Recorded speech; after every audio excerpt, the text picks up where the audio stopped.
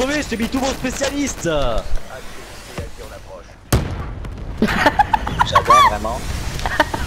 Qu'est-ce que t'as fait là?